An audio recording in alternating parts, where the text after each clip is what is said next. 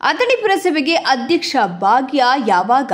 ವರ್ಷ ಕಳೆದರೂ ಅಥಣಿ ಪುರಸಭೆ ಅಧ್ಯಕ್ಷೆ, ಉಪಾಧ್ಯಕ್ಷ ಭಾಗ್ಯ ಇನ್ನೂ ಕೂಡಿ ಬಂದಿಲ್ಲ ಎಂದು ಅಥಣಿ ಕಾಂಗ್ರೆಸ್ ಮುಖಂಡ ಗಜಾನನ ಮಂಗಸುಳಿ ಆರೋಪಿಸುತ್ತಿದ್ದಾರೆ.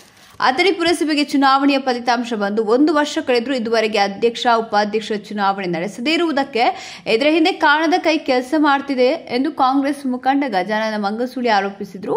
ಹೌದು, ಅಥಣಿ ಪುರಸಭೆ ಕಚೇರಿ ಮುಂದೆ ಕಾಂಗ್ರೆಸ್ ಮುಖಂಡರು ಮತ್ತು ಪುರಸಭೆಗೆ ಆಯ್ಕೆಯಾದ ಹದಿನೈದು ಕಾಂಗ್ರೆಸ್ ಸದಸ್ಯರೊಂದಿಗೆ ಕಪ್ಪು ಪಟ್ಟಿ ಧರಿಸಿ ಪ್ರತಿಭಟನೆ ನಡೆಸಿದ್ರು. ಕಳೆದ ಒಂದು ವರ್ಷದ ಹಿಂದೆ ನಡೆದ ಚುನಾವಣೆಯಲ್ಲಿ ಹಿನ್ನಡೆಯನ್ನು ಅನುಭವಿಸಿದ ಬಿಜೆಪಿ ಪಕ್ಷವು ಕುತಂತ್ರದಿಂದ ಅಧಿಕಾರ ವಿಕೇಂದ್ರೀಕರಣ ಮಾಡುವಲ್ಲಿ ಹಿನ್ನೆಟು ಹಾಕ್ತಿದೆ.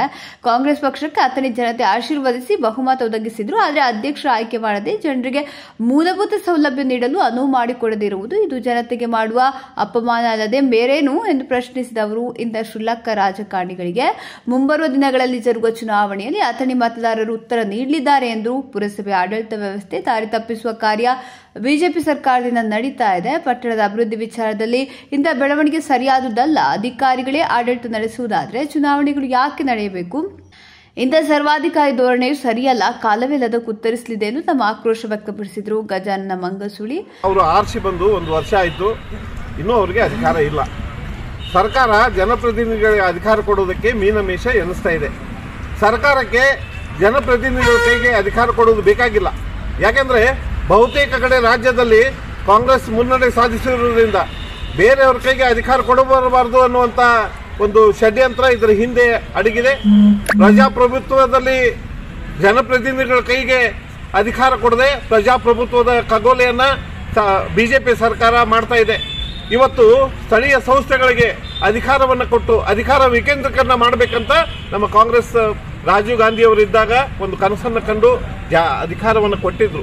ಆದರೆ ಇವತ್ತು ಏನಾಗ್ತಾ ಇದೆ ಅಂತಂದ್ರೆ, ಇಲ್ಲಿ ಅಧಿಕಾರ ವಿಕೇಂದ್ರೀಕರಣ ಕೊಡುವುದು ಮಾತಿರಲಿ ಜನಪ್ರತಿನಿಧಿಗಳಿಗೆ ಅವರು ಆರಿಸಿ ಬಂದಂತ ಆ, ವಾರ್ಡ್ಗಳಲ್ಲಿ ಕೆಲಸ ಮಾಡೋದಕ್ಕೆ ಅವರು ರಾಜ್ಯ ಸರ್ಕಾರ ಅಧಿಕಾರ ಕೊಡ್ತಾ ಇಲ್ಲ. ಪುರಸಭೆ ಹಿರಿಯ ಸದಸ್ಯ ರಾವಸಾಬ್ ಐಹೊಳೆ ಮಾತನಾಡಿ, ಕಳೆದ ಒಂದು ವರ್ಷದಿಂದ ಪಟ್ಟಣದಲ್ಲಿ ಯಾವುದೇ ಅಭಿವೃದ್ಧಿ ಕಾರ್ಯಗಳು ನಡೆದೆ ಅಧಿಕಾರಿಗಳು ನಡೆದದ್ದೇ ದಾರಿ ಅನ್ನುವಂತಾಗಿದೆ. ವಿವಿಧ ಅನುದಾನದಲ್ಲಿ ಬಂದ ಅನುದಾನವನ್ನು ವಾರ್ಡ್ಗಳಲ್ಲಿ ಸದ್ಬಳಕೆ ಸರಿಯಾಗಿ ಹಂಚಿಕೆ ಆಗದೆ ದುರುಪಯೋಗವಾಗ್ತಿದೆ. ಪಟ್ಟಣದ ಸ್ವಚ್ಛತೆ, ಜನರ ಆರೋಗ್ಯ ಇವುಗಳತ್ತ ಗಮನ ಹರಿಸಬೇಕಾದ ಅಗತ್ಯತೆ ಇದೆ. ಇದು ಆಡಳಿತ ಮಂಡಳಿ ಇದ್ದಾಗ ಸಾಧ್ಯವಾಗ್ತದೆ. ಈ ಕುರಿತು ಸ್ಥಳೀಯ ಶಾಸಕರು ಗಮನ ಹರಿಸಬೇಕಾದ ಅವಶ್ಯಕತೆ ಇದೆ ಎಂದು ಆರೋಪಿಸಿದರು. ವರದಿ ಕಲ್ಲಪ್ಪ ಕನ್ನಾಳೆ ಪುರಸಭೆಗೆ ಚುನಾಯಿತರಾಗಿ ಒಂದು ವರ್ಷ ಆಯಿತು. ಸರ್ಕಾರ ಹಾಗೂ ಚುನಾವಣಾ ಆಯೋಗ ಇನ್ನೂ ಅಧ್ಯಕ್ಷ ಉಪಾಧ್ಯಕ್ಷ ಘೋಷಣೆ ಮಾಡಿಲ್ಲ.